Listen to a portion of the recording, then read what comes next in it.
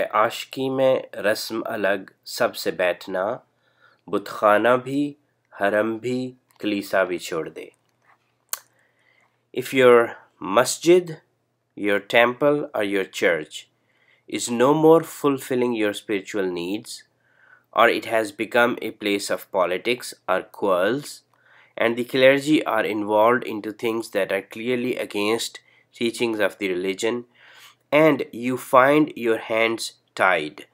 You have no control or say in the state of affairs of such places, then, for the love of God, you may opt to stay away from such places of worship. It's fine.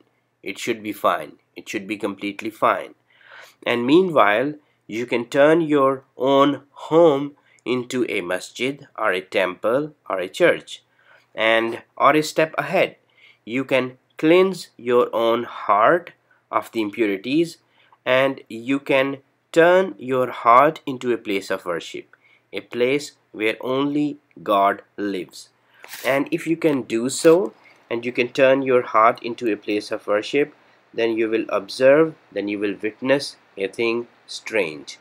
People will flock to make a tawaf of your heart. It has happened before, it has happened before many times, and as Paulo Coelho says, everything that happens once can never happen again, but everything that happens twice will surely happen a third time.